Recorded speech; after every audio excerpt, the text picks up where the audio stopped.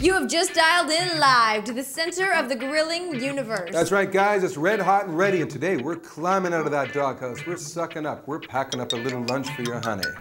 That's right, and I'm going to take it one step further. I'm packing it in and wrapping it up. It's kind of like a little afternoon reminder of how much you care. Yeah, then we're gonna pack it up. She's gonna take it. She's gonna leave. Then the real girlfriend's coming over.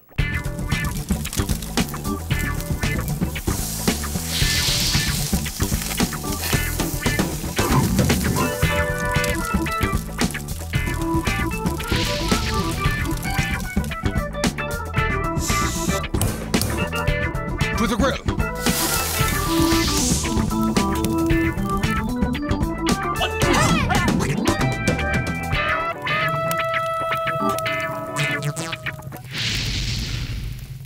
Okay, guys, welcome back. As I told you in the intro, we're packing up a lunch for your baby, okay? This is gonna pay dividends in a lot of different ways. But, you know, all joking aside, she really deserves it, doesn't she?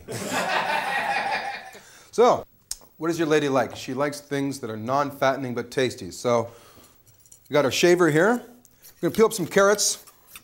We're gonna make a very cool dip for it as well. It's gonna be like a tahini dip, which is a sesame paste dip.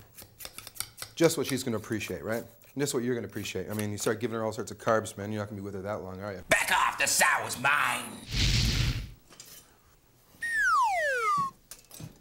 Okay, let's find a proper tool here. Cut the ends off here. You notice I have a bowl of ice water in front of me.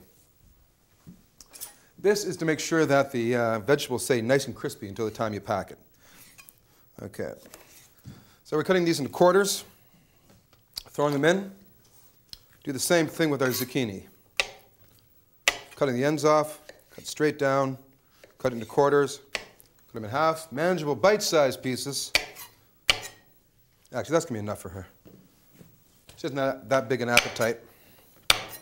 Okay, celery, same thing. Easy as that. Let it sit in here, it's gonna stay nice and crisp. I'll show you how to make this dip now. We got a cup of natural sour cream.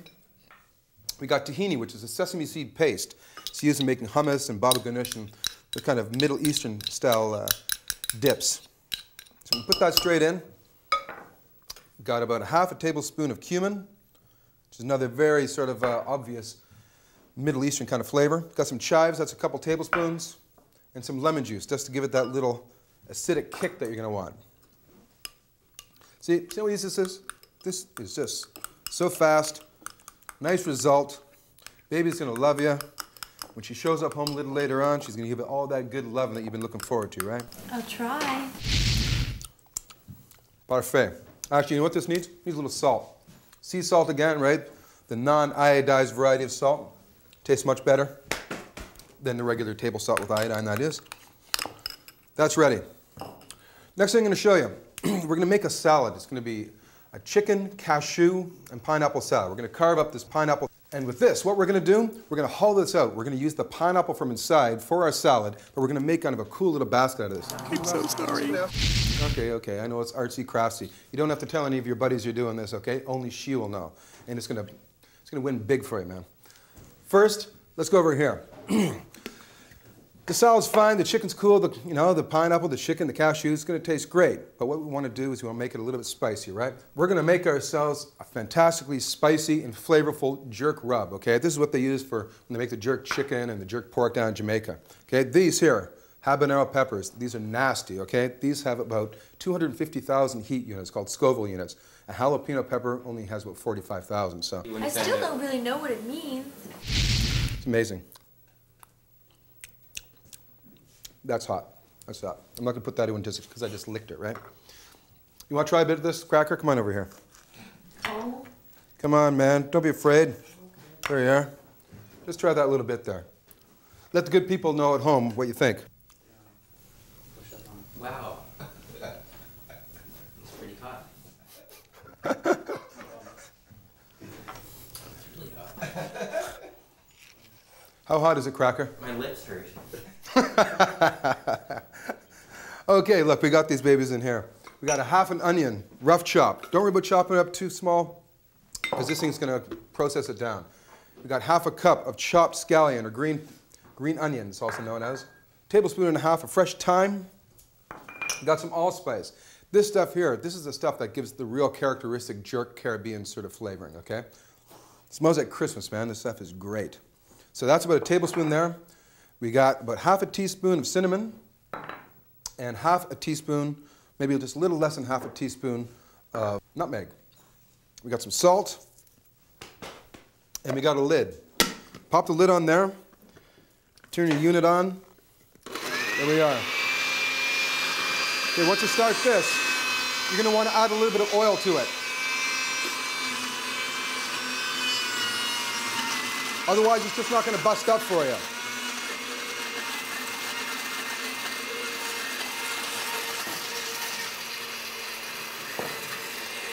Okay, that's almost there.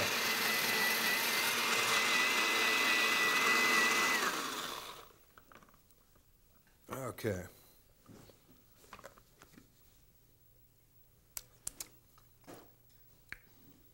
I agree. Mm. Well, that's wickedly hot. You found that hot, Cracker? Yeah. Man. Very, very nice. Okay, you're not going to need very much of this. Just basically enough to lightly coat your chicken breasts here. We've got some boneless, skinless chicken breasts. I'll pop these in. Give it a turn. Okay, we're just going to turn this, get this all coated up, let it sit for a couple of hours. This chicken's going to marinate very quickly because, number one, it does not have the skin left on it. Man, these peppers from here, they're making my eyes burn. That's how strong these things are. So when we come back, we're to continue to rub and jerk our chicken, and man, it's to taste fantastic. You don't want to miss this, okay? This is hot. Remember when you were a kid and lunchtime could either be the best or the worst time of day depending on whatever you found when you opened your lunch bag? Well, I bet that you vowed when you got older that you would eat whatever the hell you wanted for lunch from then on. You know, the same thing goes when you're packing a lunch for your girlfriend. You want it to be a little bit special. So today we talked to the crew of Red Hot and Ready to get a couple little ideas. So stick around because we've got some fresh ideas to spice up the little brown bag. All you need is a ball peen hammer and a good pair of shoes.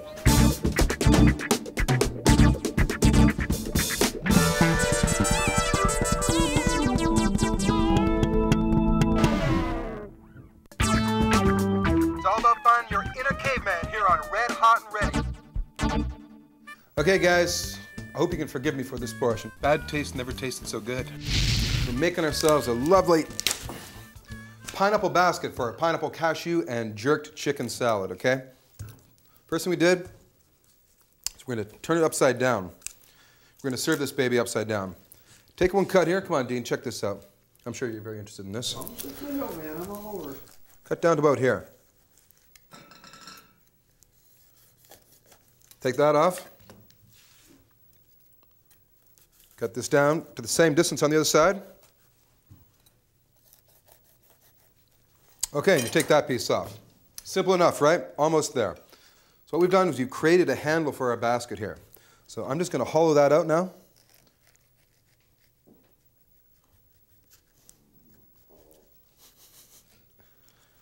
Dean's getting very excited about this. Why is it that the word hollow excited you so much?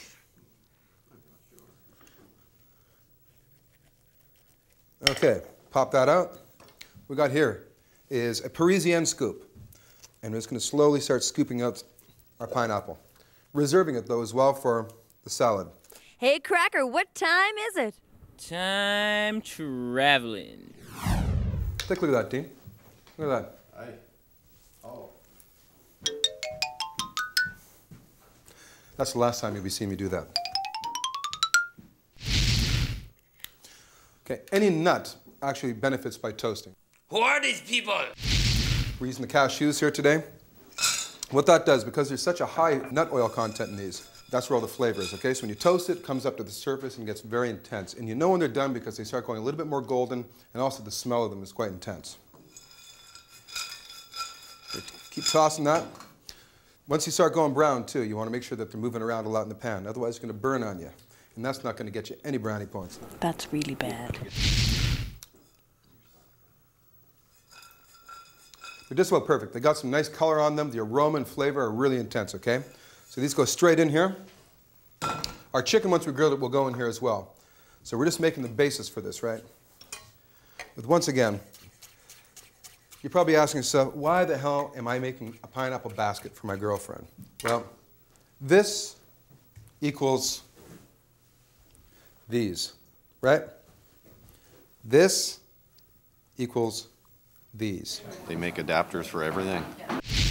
Toss this in, a little salt. And when we go outside, we're jerking our chicken, throwing it on in here, and we're gonna hope for the best, okay? So come on back. Now, Lucy, if you were to pack a lunch for your boyfriend, how would you make it special? Um, if I were to pack a lunch for my boyfriend, I'd make it special by including something nutritious that he can eat on the run. And now, you brought a lunch today. What do you have in your lunch? I have here a special lunch that my boyfriend made for me. He's included in it a special root that he found when he was traveling in Latin America. Oh. It's a yucca root, and you have to eat it whole. Bruce, if you were to make a packed lunch for your wife, how would you make it special? Well, I do most of the cooking at home, and when I go away on uh, business, etc., she seems to live on cheese and tomato sandwiches. So that's what I'd make for her: cheese and Ah. tomato sandwiches. All right, now your wife kindly makes a lunch for you every day. You come in with these great looking lunches. What do you have today? Well, um, as some of you may have gathered, I'm a vegetarian. In fact, I'm a lacto-ovo-pescador vegetarian, and my wife knows this, and she takes that into account. It makes me something special every day, so I don't know what I have today. Well, you want to that's take a look? Yeah. It's a surprise for you every day, huh?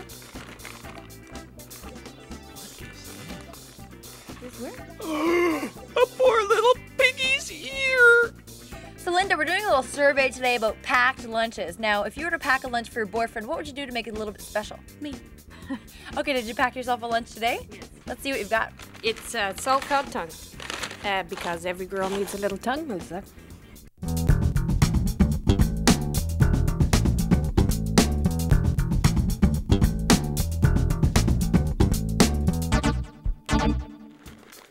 Hey, Cracker, what do you have in your lunch?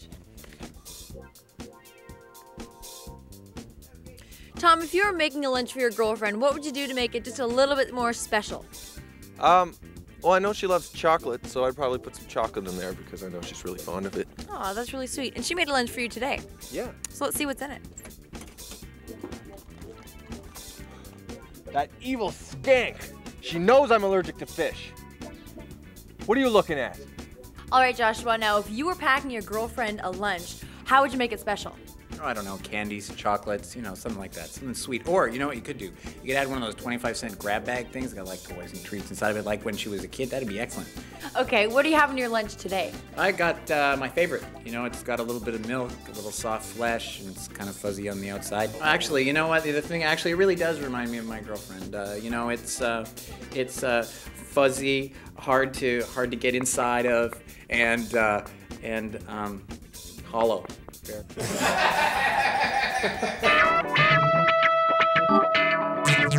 Okay, guys, let's get to jerking our chicken, okay? Got a nice hot barbecue going on here. We have it on full kill, right? Got our marinated chicken, a little bit of oil. And let's get it straight on. A little toss here. Try to rub a little bit of the excess off, okay? Otherwise, it's gonna flare up on you. We are. Put this towards the edge because it's a little bit smaller and it's going to cook faster. If you want them all to come off at the same time, put the big ones in the heat and the little ones away from the direct heat. Okay, we're going to let this cook for about four or five minutes, okay, on either side. But we're going to check it every two and a half minutes or so just to make sure it's not burning, okay? Got to be careful with these marinades, as I said, because they will stick to the grill. While this is cooking, let's get on. We have a roasted red pepper aioli. This is going to be a dip for our asparagus that we're going to do shortly. We're going to grill off some asparagus wrapped in prosciutto, which is cave meat, really. It's this uh, hung air-cured leg of ham, okay? It's really amazing. Salty, chewy, very meaty. I knew it looked familiar. What I want to show you first is how we roast the red pepper. Got this. You all did it. Okay, there. We got our blowtorch. And we torch it. And just go until the skin cracks, right? That's what she said. Just do it until the skin cracks. Ouch. So this is going to take a few minutes. So, uh, hey, Cracker, what time you got over there? Time traveling. Well, this turned out rather well, you know, and it barely took any time. What we got now here is a pepper that's ready to be peeled. Just grab yourself a cloth and gently go over the skin. Or use your fingers if that works for you.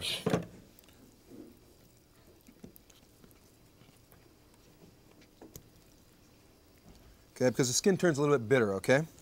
If it's not that charred, you can leave the skin on, but I suggest you take it off. Got that out. Remove your seeds just by running your finger along the inside of the meat. Into S&M, we're gonna be smacking them hard and... That sounds really painful. Oh, that's not what I do best. And straight into our little processor here. Beautiful. That's what I meant about the marinade sticking to the grill, right? I did it on purpose, though.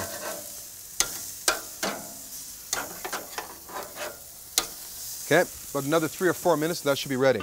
Okay, guys, so when we come back, we're gonna be finishing off our red pepper aioli. We're gonna be wrapping up some asparagus with prosciutto cave meat, throwing that on the grill. So you don't wanna miss this. Come back, it'll be chilling. From Hamburg to your burg, it's all about the meat here on Red Hot Ready.